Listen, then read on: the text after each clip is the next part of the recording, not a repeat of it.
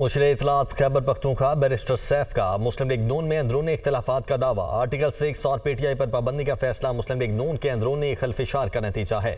Barrister Saif का कहना है कि नवाज़ शरीफ और मरियम नवाज़ कैम्प शहबाज शरीफ का धड़न तख्ता चाहते हैं। पीटीआई पर पाबंदी और आर्टिकल सिक्स का फैसला अंदरूनी कशमकश की गमाजी करता है। मुस्लिम लीग नून के अंदर इकतदार की लड़ाई मंतकी अंजाम को पहुँचने वाली है। कोई जी अकल शख्स इस किस्म के फैसले नहीं कर सकता। मुल्क में मुकम्मल अंधेर नगरी और चौपट राज कायम है।